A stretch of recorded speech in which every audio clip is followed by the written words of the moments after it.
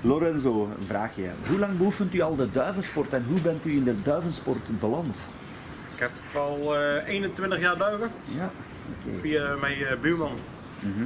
Kees van der Wel. Ja. Ik had eh, enkele eh, van jouw toppertjes mogen bewonderen. Ik zie eh, die staan nog op 8, 9 pennen. Eh, ook worden de duiven verduisterd, belicht. Duiven worden verduisterd vanaf eh, half maart Mhm.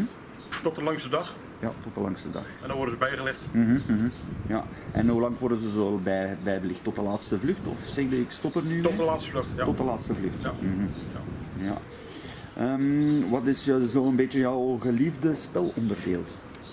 Fond, midfond, snelheid? Het hele programma. Het hele Dat programma. is van 100 tot, tot 600 Tot kilometer. 600 zo. En wekelijks ook eh, deelnemen. Iedere week keihard. Ja. Dus kunt u ons dan een beetje meer vertellen van welke duiven komen er in de, in de veiling? ja, daar komen er ook in van de Prins, Mhm. van de Lucky Case. Dat zijn allemaal eerste prijswinnaars. Ja. Goede kwekers. Mhm. Eigenlijk het beste van het beste. Het beste van het beste. Ja. Eh, eh, Stefan Lambrechts Mhm. Ja. uit de Olympiadeduif. Oké, Allemaal een beetje dat soort uh, perfect. Oké, we kijken er naar uit naar de veiling. Oké, Oké, bedankt. bedankt. Ja, dag.